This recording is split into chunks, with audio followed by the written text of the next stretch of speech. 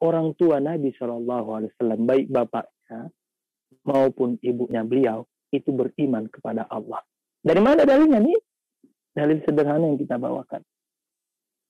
Oh, masa begitu terus? Abun dalam bahasa Arab itu kan terjemahannya bapak.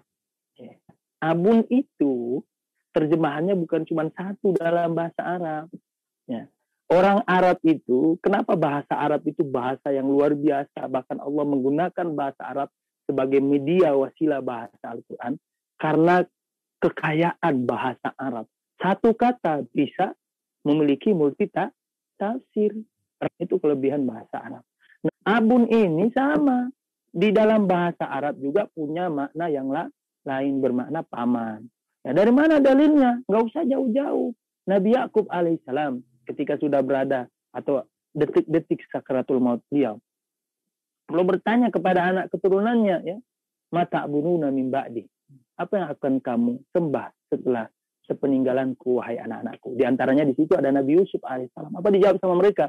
Ya, kalau nak budu ilahaka, kami akan menyembah Tuhanmu wahai Bapakku. Kalau nak budu ilahaka wa ilaha abaika Ibrahimah wa Ismaila wa Ishak.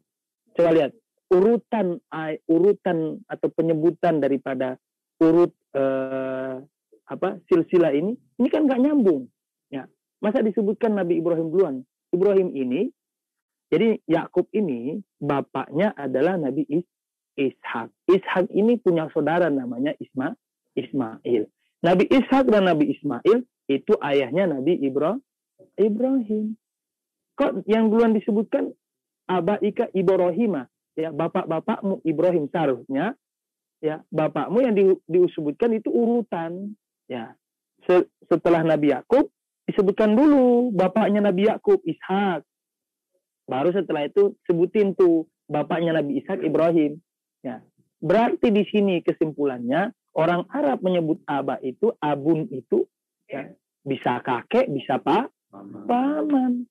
Bukan cuman orang tua bapak Kok dibatasi cuman bapak? Padahal Nabi Yakub, eh, anak-anak Nabi Yakub dan di situ ada Nabi Yusuf, ya mengatakan abun itu disematkan kepada buyut mereka Nabi Ibrahim yang disebutkan duluan ada Nabi Ibrahim baru ya, kakeknya mereka Nabi Ishak baru gitu. Jadi abun itu dalam bahasa Arab juga sering dipakai, sering digunakan kepada paman, kakek dan sebagainya dan sebagainya.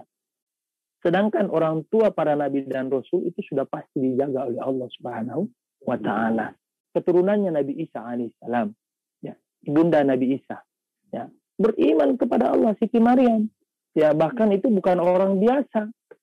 Ya, sebagian ulama kita mengatakan itu nabi, ya, walaupun sebagian menepis bahwa nggak ada nabi di kalangan perempu, perempuan. Tapi semua ulama kita sepakat bahwa Sayyid, Sayyidah ya Maryam adalah wa, wali. Setiap malam ketemu malaikat Jibril. Setiap malam didatangi oleh ruhnya para nabi dan rasul.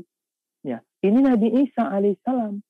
Apalagi sebaik-baik para nabi dan rasul, khatamul anbiya wal mursalin, penutup para nabi dan rasul. Masa iya orang tuanya kafir? Ya. Jadi orang tua Nabi Shallallahu Alaihi Wasallam sudah pasti dipersiapkan oleh Allah Subhanahu Wa Taala untuk khairul anbiya wal mursalin sebaik para nabi dan rasul. Ya. Maka sudah pasti orang tua nabi itu orang yang spesial.